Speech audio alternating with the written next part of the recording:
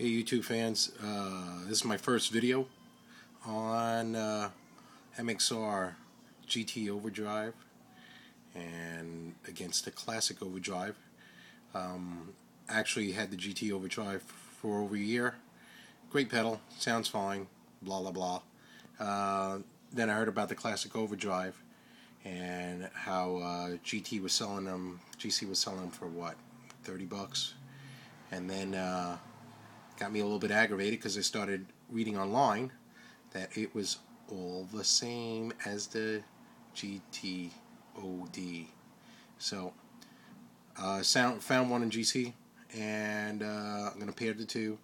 Uh, actually, just uh, put the settings uh, very close as possible, and now you will hear, uh, you know, basically me just chugging on the guitar and uh, you just hearing the tonal difference. Okie doke. And by the way, I'm only using a Fender Strat uh, going into a Mesa Boogie Simul-Class 90, and I'm just gonna just uh, try to hold on to my iPhone while I'm playing this at the same time. So here's the clean sound.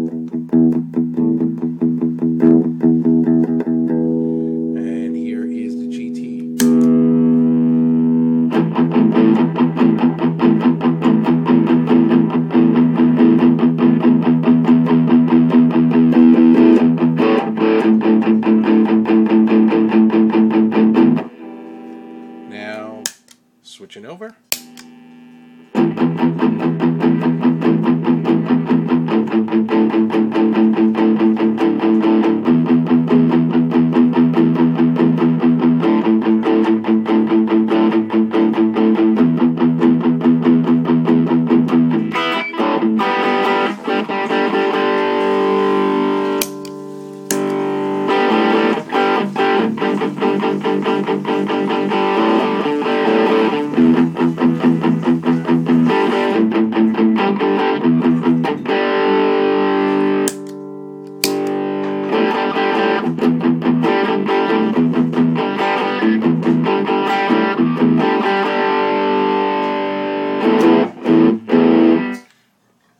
Guitar playing is a whole lot better, uh, but I can't hold the phone and switch channels at the same time on the on the pedals. What it comes down to is you can hear for yourself. They are exactly the same. Uh, I think the Classic Overdrive is just a little bit brighter, but that just could be just because it's a uh, filament or something like that, or just a resistor capa or capacitor change. It's just brightening it up a little bit, but it's not really anything different. Uh, so basically, that's it. The uh, GT Overdrive, that is a hundred bucks, is the same as the classic Overdrive. Now, granted, I didn't do the switching that's inside the Eternal switch in there, but that doesn't matter uh, because we were just comparing the two to see if they were exactly the same tone. And me being a sound engineer for the last 22 years and a guitar player for the last 22 years, I got to tell you, it is exactly the same.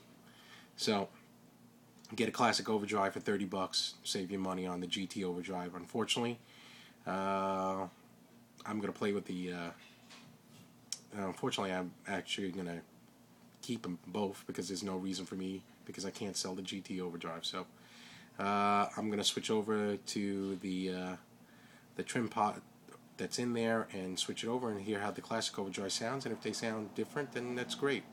But if they don't sound any different uh, then what am I going to do alright thank you YouTube guys.